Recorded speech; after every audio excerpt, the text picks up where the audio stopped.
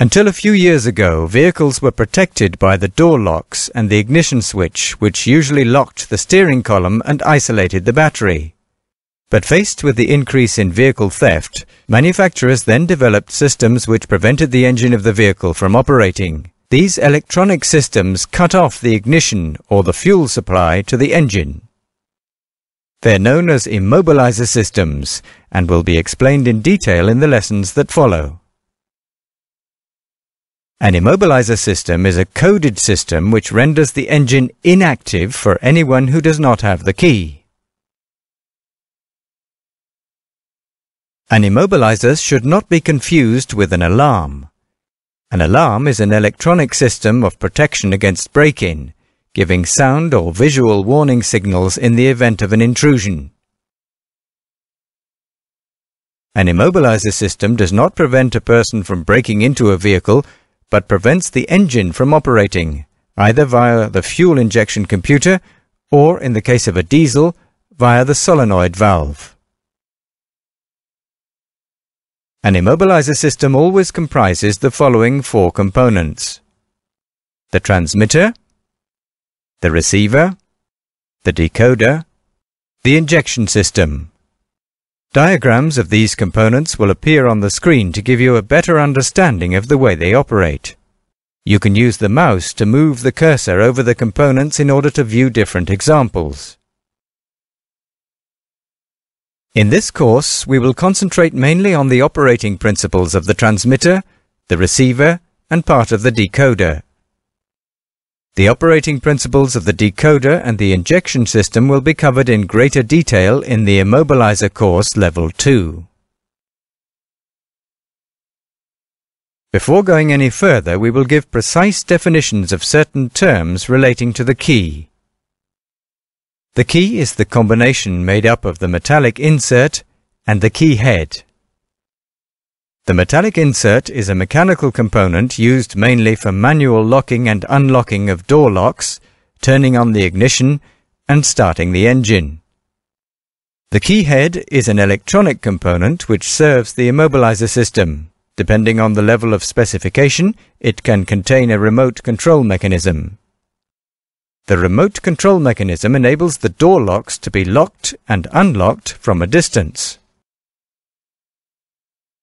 You have undoubtedly already used a remote locking system and know how to operate it. We will outline the principle on which it works. It's important to realize that the immobilizer system is sometimes connected to the remote locking mechanism. For this reason, we will look first at the operating principle of a remote locking system. As you proceed, a series of pictures will appear on your screen representing the key features of the system being studied. Here is the first picture which represents the remote locking mechanism. In this diagram we can see the four components. The transmitter, in this case the remote control mechanism, which has the code ABCD. The receiver, the decoder, which holds the ABCD code in its memory. The fuel injection system, which, since there is no immobilizer system, operates independently.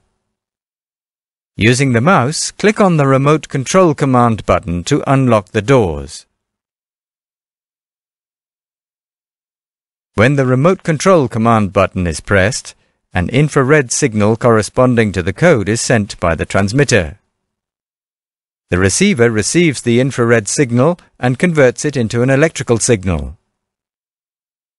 The electrical signal is sent to the decoder. The decoder converts the electrical signal into a code. It compares the code received to the one held in its memory. If the two codes match, the decoder instructs the doors to unlock.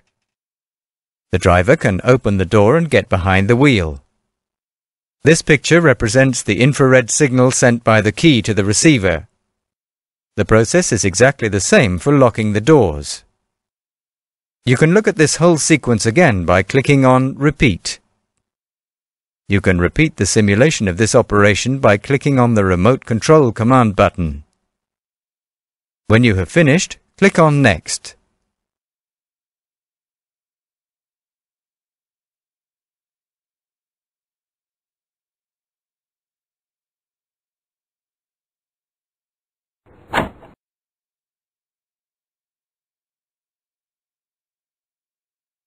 As you have seen, the code transmitted by the key is always the same. In this example, it is ABCD. This is known as a system that operates with a fixed code. This picture represents a fixed code. Each vehicle, of course, has a unique code. We will now see what happens when a key with a different code is used.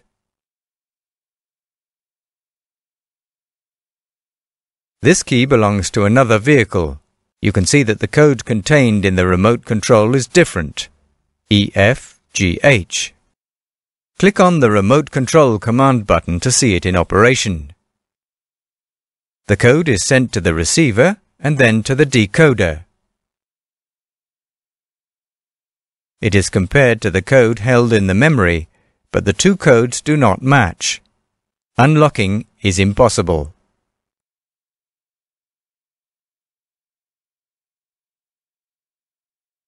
We have come back to the vehicle we started with. The key and the decoder contain the same code. Click on the key to start the engine. The color yellow indicates that the ignition is on. As we have said, this system does not have an immobilizer system. It is therefore still possible to start the engine.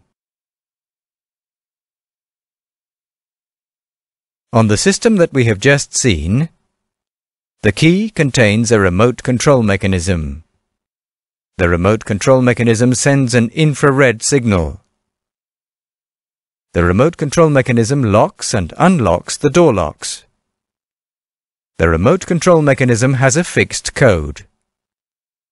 If a code from another remote control system is received by the decoder, unlocking does not take place.